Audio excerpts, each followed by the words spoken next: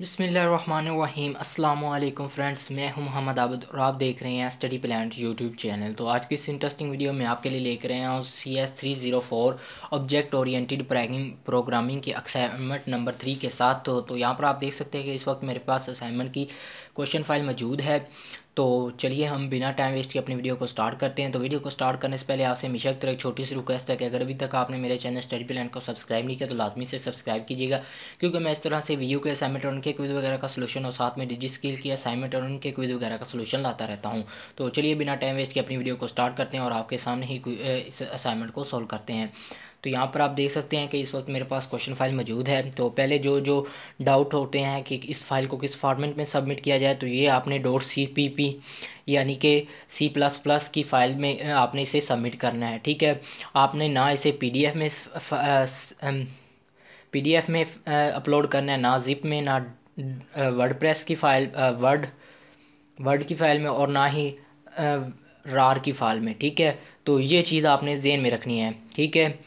और उसके बाद आपने जो फ़ाइल को सेव करना है वो आपने अपने आईडी के साथ वी यू आई डी और डॉट सी पी सी इस फ़ाइल के नाम से आपने सेव करना है। और ठीक है तो ये थोड़े से डाउट्स हैं जो लो, काफ़ी लोग पूछते रहते हैं ठीक है? तो ये मैंने आपको यहाँ पर ही बता दिया। ये अक्सर क्वेश्चन फ़ाइल के ऊपर यहाँ पर बताया हुआ आता है लेकिन काफ़ी लोगों को ये पता नहीं होता कि कौन से फ़ाइल फार्मेट में फ़ाइल को अपलोड किया जाए। तो चल हम चलिए हम अपनी असाइनमेंट की तरफ़ बनते हैं और यहाँ पर आप देख सकते हैं असाइनमेंट नंबर थ्री का यहाँ पर क्वेश्चन है। In continuation of scenario P S L Pakistan Super League given in assignment number one जो आपको scenario P S L Pakistan Super League का असाइनमेंट नंबर वन में दिया गया था you are required to write a C plus plus program that should contain the three classes तो आपने एक सी प्लस प्लस प्रोग्राम लिखना है, जिसमें तीन क्लासेज होंगी प्लेयर बैट्समैन एंड बॉलर ठीक है? जबकि where player should be base class player जो होगी player base class and batsman and bowler should be its drive class जो प्लेयर होगी, वो होगी बेस क्लास और बैट्समैन एंड बॉलर इस ड्राइव क्लासेज होंगी, ठीक है? The detail of data member and member function for each class is provided the given table ठीक है? तो अब आपने एक प्रोग्राम लिखना है, ठीक है? जिसमें प्लेयर होंगे बैट्समैन और बॉलर होंगे। प्लेयर जो होगा वो बेस क्लास में होगा और बैट्समैन और बॉलर जो होंगे वो ड्राइव क्लास में होंगे। बाकी के जो डाटा मेंबर्स और डाटा फ़ंक्शन है, उनकी डिटेल इन्होंने नीचे टेबल में दी हुई है। तो यहाँ पर आप टेबल में देख सकते हैं कि क्लास का नेम है प्लेयर बैट्समैन बॉलर क्योंकि तीन क्लासेज हैं, ठीक है? और डाटा मेंबर से पहली क्लास में जो डाटा मेंबर हैं name of player code of player age of player ठीक है? तो ये आप ने बनाना है, ठीक है? उसके बाद जो मेंबर फ़ंक्शन यूज़ होंगे डिफ़ॉल्ट कंस्ट्रक्टर ठीक है? Setter function to set the value of data function बाकी ये मेंबर फ़ंक्शन यूज़ होंगे, ये आपने पढ़ लेना है। और उसके बाद जो मेन चीज़ है वो क्लास है और डाटा मेंबर है, ठीक है? बाकी मेंबर फ़ंक्शन जो है जब आप कोडिंग करेंगे, तब आपको उनकी ज़रूरत होगी, ठीक है? तो उसके बाद बैट्समैन आ जाता है, उसमें बैट्समैन क्या आया? Inning played run score batting average ठीक है? और बॉलर में आ जाएगा run score conceded total overs bowling average ठीक है? तो आपने इन चीज़ों को कोड करना है सी प्लस प्लस में और आपने इसकी कोडिंग करनी है, ठीक है? तो फिर नीचे यहाँ पर सोल्यूशन गाइडलाइन भी आपको दी हुई हैं। You have to use concept of polymorphism to generate the sample output तो आपने पोलीमार्फिज्म का जो होगा, वो आपने यूज़ करना है कॉन्सेप्ट को, ठीक है? Use following formula to calculate batting and bowling average of batsman and bowler where total inning and total over should not be should be non zero ठीक है? बैटिंग एवरेज के लिए आपने run score over total inning और bowling average के लिए total number of runs conceded over total overs ठीक है? तो ये आपने इस चीज़ का ख्याल रखना है। और सिंपल आउटपुट में जो वो हमें आउटपुट देगा, वो ये वाला आउटपुट होगा, ठीक है? कि आपने पहले क्या आएगा आपके पास how many bowler and batsman data you want to enter तो वहाँ पर आ जाएगा बॉलर का एंटर करना चाहते तो बी लिखेंगे और